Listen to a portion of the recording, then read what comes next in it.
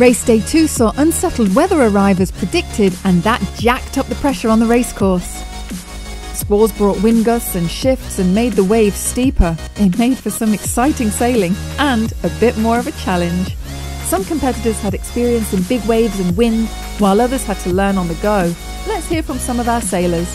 Uh, the conditions were quite windy today and it was quite wavy and it was pretty hard work. It was pretty nice. I looked up and I saw a person capsize on a wave on the upwind.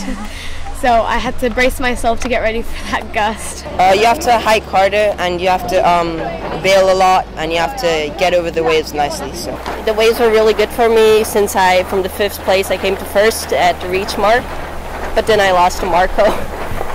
but yeah, otherwise it was all good. The wind in Antigua it's always not stop. It's good but maybe second race is not good. And nice world championship. Very bad. I have bad start. I sailing today very slow. I must have better start and I must be faster. In Antigua I like uh, waves because are very big. Downwind the best because the gusts was there, there were bigger waves and we could just go a lot faster and we were like flying on the reach. On the reach where I gained like 10 positions because I was going so fast. And yeah, everyone else pretty much gave up.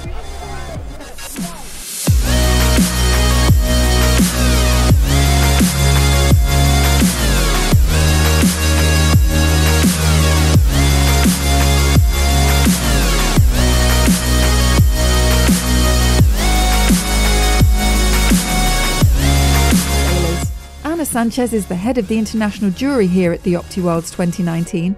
They are the ultimate arbitrators when there's a conflict that's not resolved on the water. Most of the time, when they have a problem on the water, for example, they have a collision or they touch a mark, which is forbidden, they solve they solve it themselves. They have the possibility to make turns and, and solve it. Um, only when it is something like a situation with three boats or coming to a mark or something really, really difficult, like um, collision with damage, then they come to us. While the weather conditions should ease back into a normal zone tomorrow, the pressure builds on our racers as it's the last day for them to qualify for the team racing event and for the finals after that.